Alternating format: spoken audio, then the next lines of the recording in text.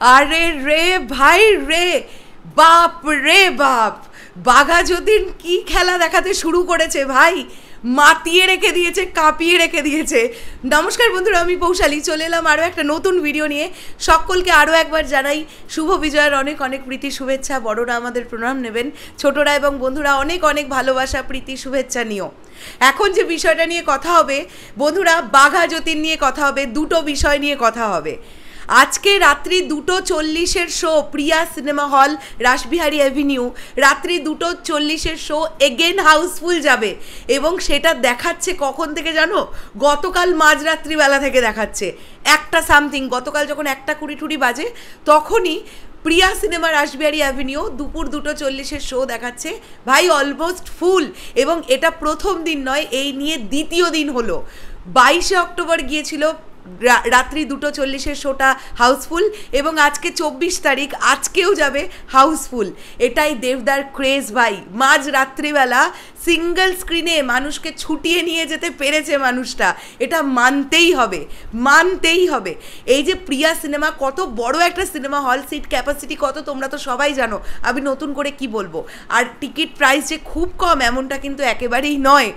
তারপরেও মাঝরাত্রিবেলার শো যখন একটা বাংলা সিনেমা হাউসফুল দেখায়, তখন এটা গর্ব করে আমরা বলব না তো কারা বলবে ভাই? অন্যান্য ইন্ডাস্ট্রির যখন সিনেমা এরকম কোনো রেকর্ড করে, তখনও আমরা লাফাতে লাফাতে এসে ভিডিও করি। আর আমি মনে করি, আমি তো বাঙালি রে ভাই আলটিমেটলি বাংলা সিনেমা যখন এরকম পারফর্ম করবে, সেটা লাফাতে লাফাতে নয়, নাচতে নাচতে বলা উচিত। সো এটা একটা বিষয় গেল, তোমাদেরকে বলে দিলাম। এরবার যে বিষয়টা নিয়ে কথা বলব, সেটা তোমরা শুনলে। অনেকে অবাক হতে পারো, আবার অনেকে এই ব্যাপারটা নিয়ে শিওর ছিলে। আমি আজকে সকালবেলায়, কিছুক্ষণ আগে ডে ফাইভের বক্স অফিস কালেকশন নিয়ে একটি ভিডিও বানিয়েছিলাম। বেসিক্যালি আমি প্রেডিক্ট করেছিলাম যে কীরকম কী বক্স অফিস কালেকশন হতে পারে। দেখো, সবসময় না নিজের থেকে বেশিটা বলতে ভয় লাগে। ভয় লাগে কেন? অনেক সময় কি হয় বলো তো? যে ধরো একটা নিজে প্রেডিক্ট করে একটা কালেকশন বললাম, তারপরে যেটা সোর্স থেকে জানতে পারলাম সেটা হয়তো খানিকটা কম। কাজেই তখন আমি তোমাদেরকে বলব যে আগে থেকেই দুম করে বেশিটা বলে রাখব, তোমরা সকলে আনন্দ পাবে, তারপরে আমাকে তো সত্যিটা জানাতে হবে, তখন জানাতে গেলে তোমাদের মনে দুঃখ হবে। তাই আমি একটু অল্প করে টেনে টেনে বক্স অফিস কালেকশন কালেকশনই বলছি। কিন্তু যেটা ডে ফাইভের বক্স অফিস কালেকশন আমার কাছে ফাইনালি এলো ইনার সোর্সের মাধ্যমে, সেটা শুনলে তোমরা ছিটকে যাবে। গতকাল একশো পনেরোটা প্লাস শোজ হাউসফুল এবং অলমোস্ট ফুল ছিল দেবদার বাঘা যতীনের এবং ইনার সোর্স বলছে গতকাল বাঘা যতীনের বক্স অফিস কালেকশন টোটাল দাঁড়িয়েছে বাহান্ন থেকে পঞ্চান্ন লক্ষ টাকা।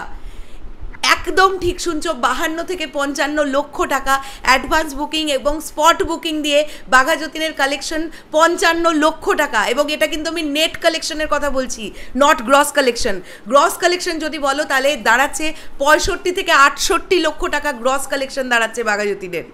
আমি একদম নেটটা তোমাদের বললাম, বাহান্ন লক্ষ থেকে পঞ্চান্ন লক্ষ টাকা। এটা একটা বাংলা সিনেমার জন্য হিউজ রেসপন্স ভাই হিউজ একদিনে পঞ্চান্ন লক্ষ টাকা মানে তোমরা বুঝতে পারছ?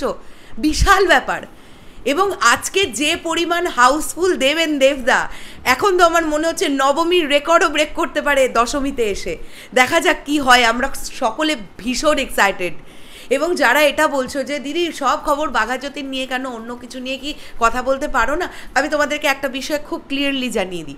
যখন যে সিনেমাটা নিয়ে মনে করি যে আমরা এই সিনেমাটার পাশে আছি, সেই সিনেমাটার সঙ্গেই থাকি। আমি দু নৌকোয় পা দিয়ে চলা চ্যানেল নই। ডেফিনেটলি তার মানে কি অন্য কোনো কিছুকে ভালো বলব না, আমার যে সিনেমা যেমন লেগেছে আমি তেমনই বলেছি। কিন্তু আমি বাঘা যতীনের সঙ্গে প্রথম দিন থেকে আছি। সৃঞ্জয় শরৎ বাজিয়েছে বলে নয়, দেবদার এই মহান প্রচেষ্টাটাকে রেসপেক্ট করে আছি। প্রথম দিন থেকে আছি, শেষ দিন অবধি থাকব। ঠিক আছে? এবং থাকবই মানে থাকবই। তাই ম্যাক্সিমাম ভিডিওস বাঘা যতীন রিলেটেডই আসবে। যারা এই ধরনের কোয়েশ্চেন করছ, আমার মনে হয় করে কোনো লাভ নেই, কারণ বাঘা যতীন রিলেটেড ভিডিওসই কিন্তু বেশি দেখতে পাবে। আমি তো চাইলে অন্যান্য সিনেমার রিভিউ নাই করতে পারতাম, প্রত্যেকটা সিনেমার রিভিউ এসছে আমার চ্যানেলের তরফ থেকে। তোমরা চেক আউট করে নিতে পারো। চলো, টাটা!